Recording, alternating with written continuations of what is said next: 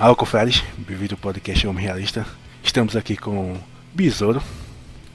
E aí, pessoal, belezinha? Estamos aqui mais um cast aí feito especialmente para vocês. é isso aí. E com o Calango do Amazonas. Fala aí, galera, beleza? Vamos lá.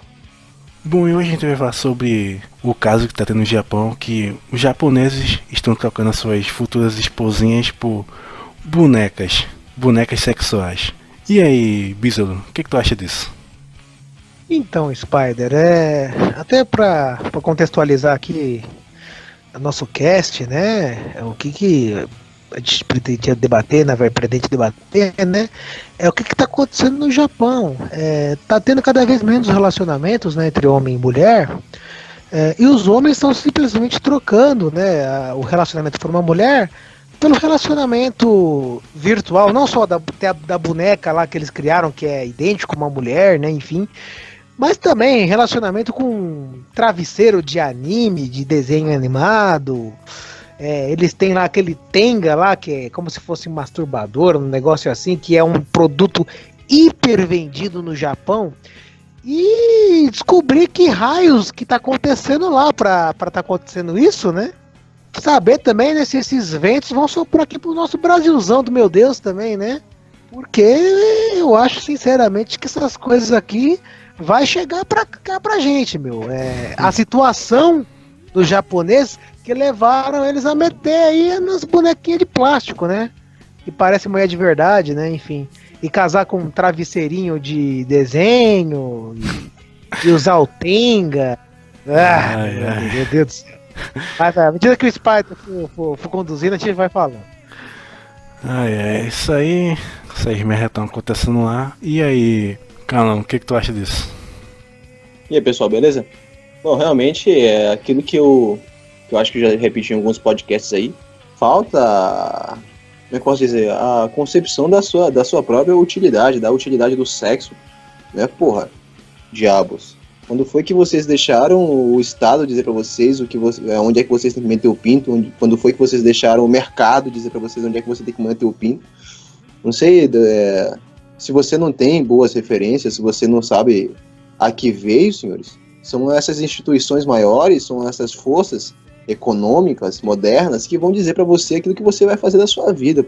Assim, você não pode pegar um cara desse e perguntar dele qual é a moral, é, qual é a utilidade, qual é a finalidade, para que, que ele está fazendo isso. Ele faz isso simplesmente porque é a válvula de escape dele, é a. Como é que eu posso dizer? É o mais fácil, entendeu? Não é isso que o, o mercado vende para você. Aquilo que é mais fácil, aquilo que não vai lhe trazer esforço, aquilo que vai melhorar a sua vida. Olha aí, é isso que está acontecendo, porra. Vai lá, deixa o mercado dizer para você o que, o que você tem que fazer da sua vida. O Besouro teve essa ideia aí, falar sobre esse tema sobre as bonecas. Isso só comprova que a Real estava certa com aquele post do Silvio Coelho, que futuramente os homens vão, vão seguir esse caminho para substituir as mulheres. E aí, Besouro, o que, que tu acha? Então, é, Spider, só para complementar a informação, né? É, o que que vai, do que eu penso, o que que levou os japoneses a chegar nesse ponto, né? Fora a junção de alguns fatores. Vamos lá. O primeiro deles, assim, não em ordem de importância, né? Vamos, vamos bem rapidamente. O primeiro deles é o seguinte: é, a cultura japonesa faz com que o japonês seja extremamente tímido ah, vamos pôr assim que nós não somos que nem brasileiro aqui, que um fala mais alto que o outro e é extrovertido. Não, a cultura deles não é essa. Eles são tímidos meio que culturalmente. Junta isso com uma cultura, né, vamos pôr assim, de massa, meio que esterilizante. Tipo, o nego vive de anime o dia inteiro e trabalha 10, 12, 11 horas por dia. E o cara fica lá no quartinho dele, lendo gibi, mangá, enfim, muito joguinho e, e, as interações sociais não são fomentadas, né? O cara sai para beber, o cara sai para se divertir, enfim, enfim, mas interação ao vivo, vamos pôr assim, né? Junta isso com a hipergamia, que lá diz que no Japão é nas alturas.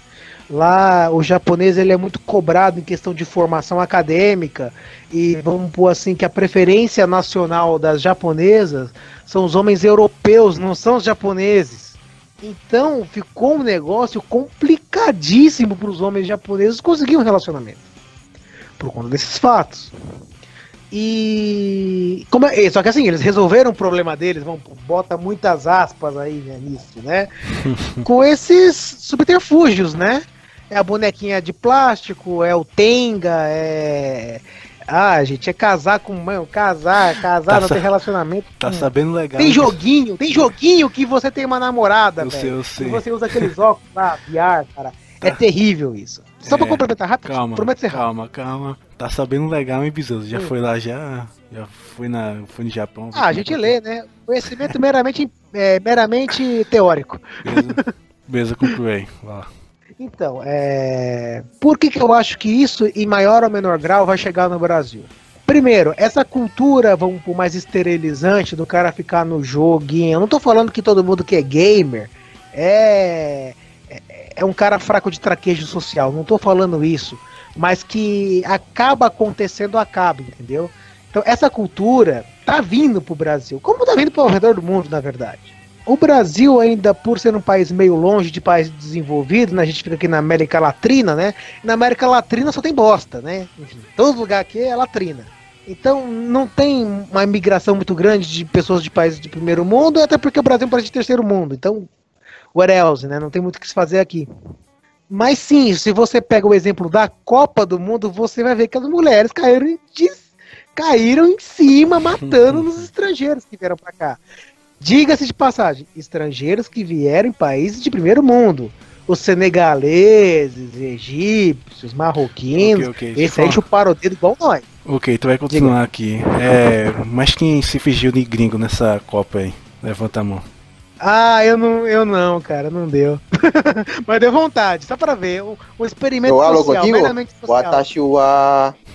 que quer dizer, senhor? Conclui aí, vai, continua aí, Biso. Eu não conosco, senhor. eu não conosco, senhor. mas, é, é, é, mas, continuando aqui, vai, papo sério. É, isso tá vindo pro Brasil. Talvez porque, como aqui a prostituição no Brasil aqui é quase que, sei lá, né?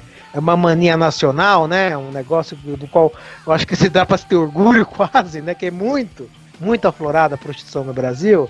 Essas bonecas de plástico não, não vence o mercado. O mercado capitalista brasileiro oferece a solução, né? Desse, desse outro jeito, né?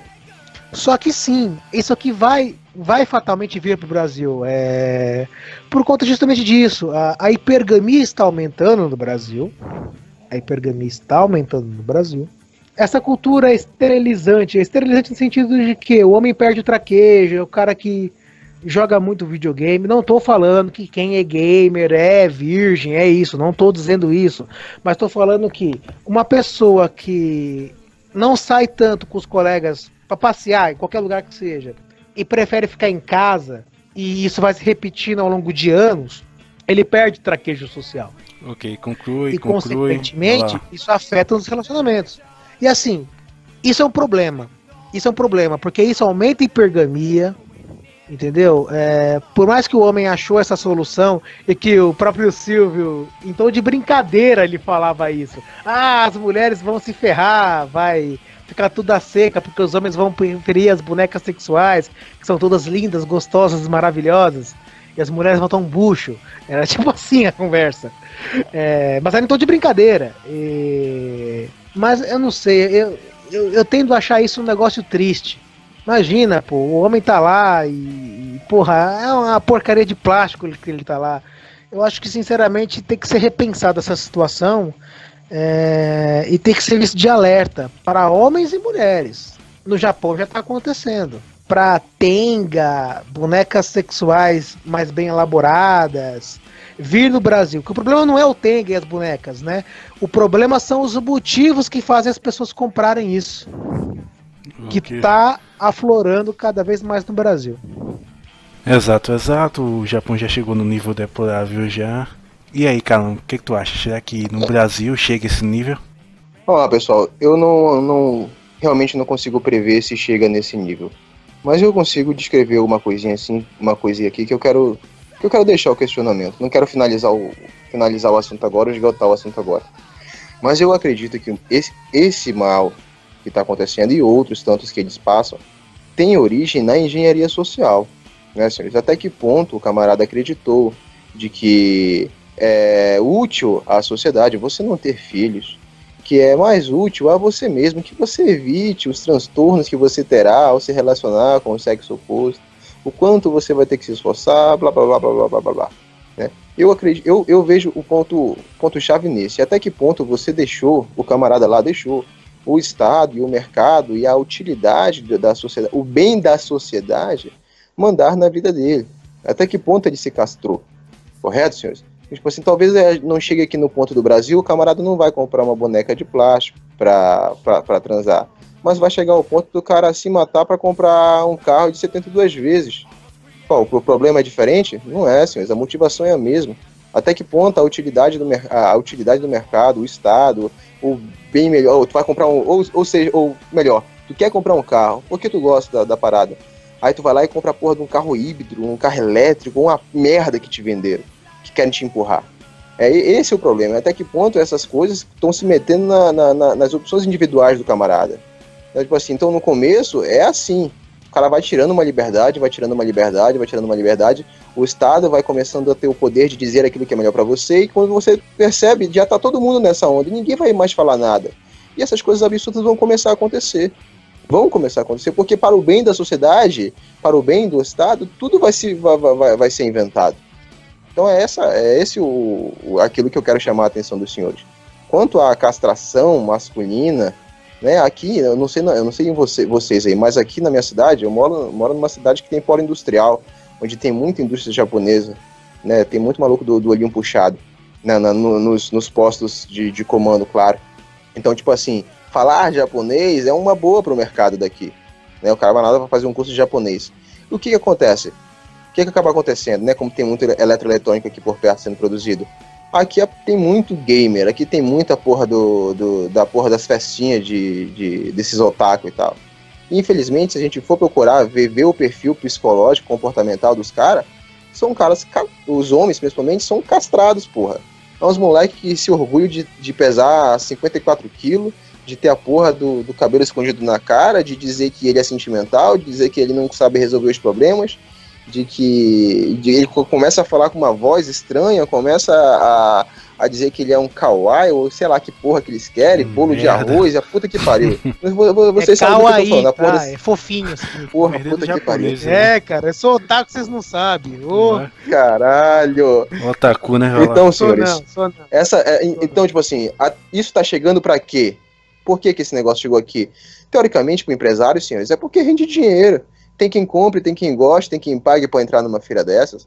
Mas até que ponto isso vai começar a influenciar na personalidade desses camaradas?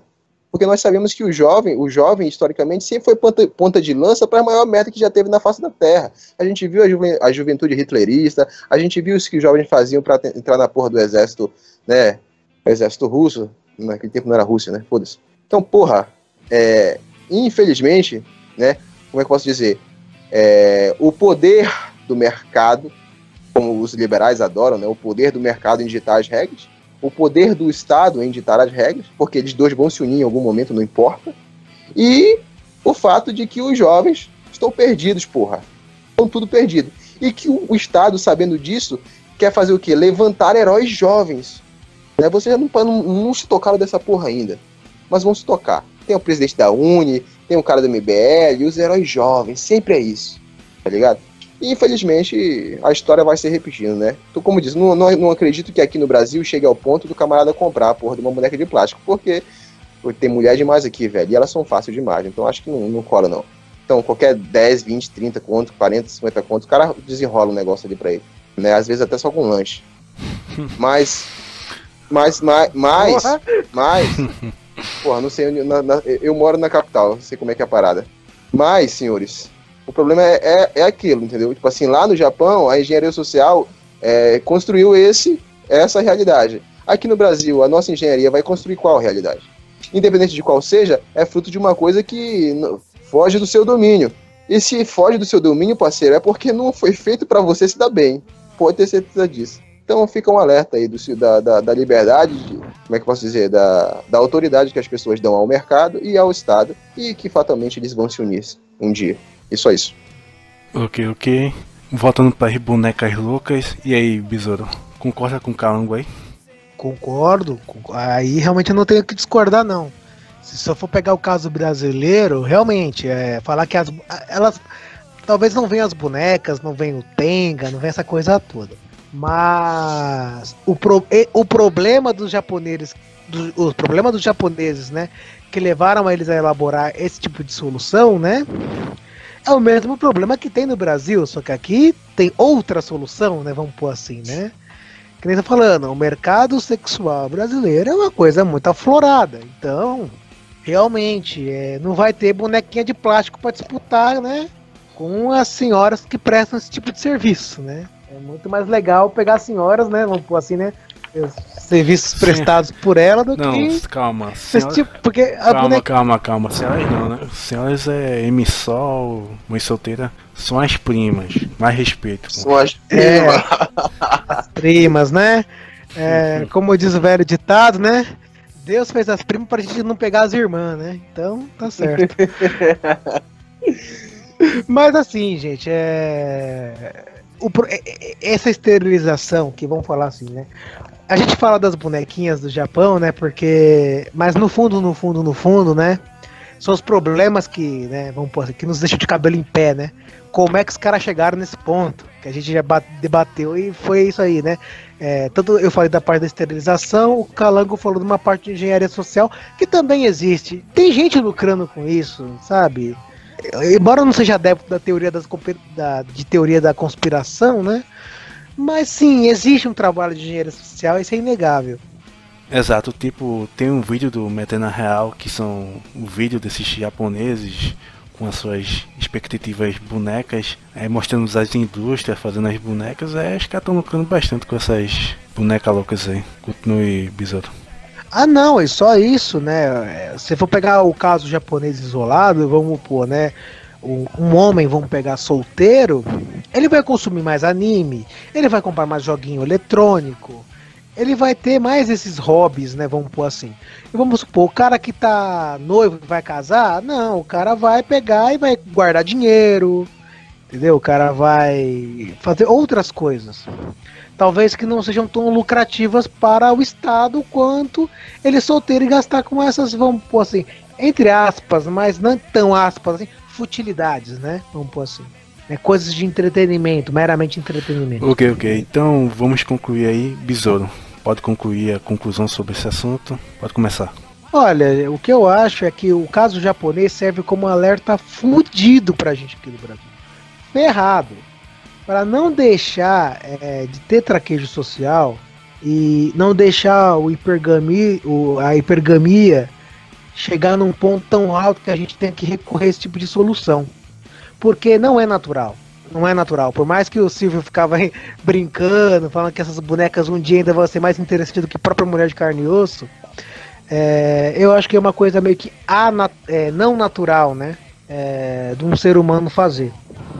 É óbvio, né? Que também não vamos aceitar qualquer merda que empurrem pra gente, né? Situação de relacionamento.